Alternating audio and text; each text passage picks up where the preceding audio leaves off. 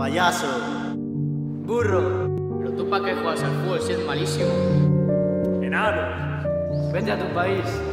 Apartaros, que este contagia. Con esas gafas que llevas pareces un bicho. No sirves para nada. Inútil. Cuatro ojos.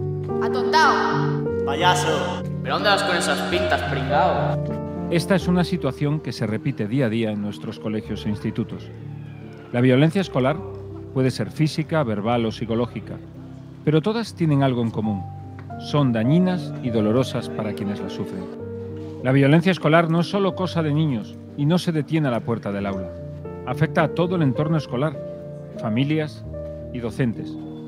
Y sin duda deja cicatrices profundas en las víctimas. Todos tenemos el derecho a sentirnos seguros y respetados en nuestras escuelas e institutos, y todos somos parte de la solución. No podemos permitir que la violencia escolar destruya los sueños y el futuro de nuestros niños y nuestras niñas. La violencia escolar es cobarde.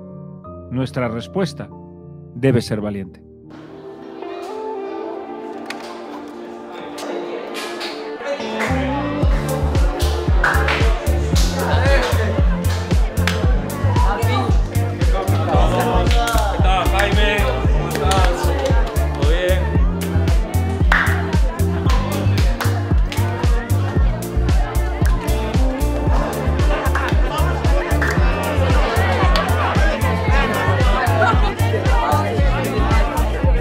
Cuando jugamos en equipo, luchamos juntos contra la violencia escolar.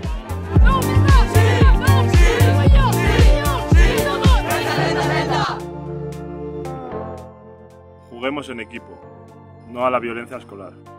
No a la violencia escolar.